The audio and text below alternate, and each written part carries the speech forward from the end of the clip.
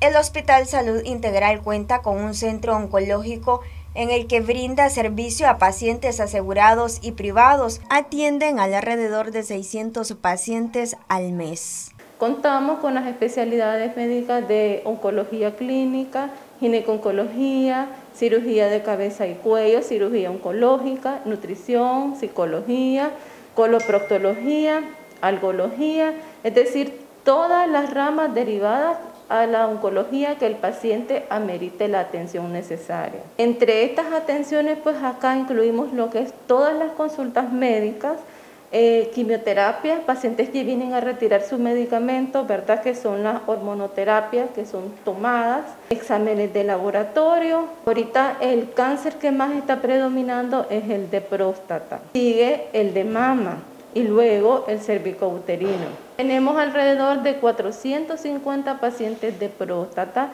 y 380 pacientes con cáncer de mama. Y esta es la campana, aquí donde preparo la quimioterapia. Aquí traigo todo mi, mi quimioterapia, mis medicamentos, ¿verdad? Que voy a preparar. A propósito del mes de octubre, mes de sensibilización del cáncer de mama. El doctor Roberto Ortega, gineco-oncólogo, dijo que la detección de esta enfermedad en el país y en el propio América Latina se diagnostican en etapas avanzadas. En las mujeres cada vez más jóvenes, ese mito que el cáncer de mama era para mujeres de 50, 60 años, ahora ya no es concepto. Ya hace 4 o 5 años se habla de cáncer de mama en mujeres menores de 35 años. Por eso le decía que la población nicaragüense, siendo 55% eh, mujer, y mujeres jóvenes están en factores de riesgo. Se dice que una de cada ocho mujeres en cualquier momento de su vida pueden ser diagnosticadas con cáncer de mama. De riesgo que deben de ser como los alertas para diagnosticar un cáncer de mama, vemos que no están presentes.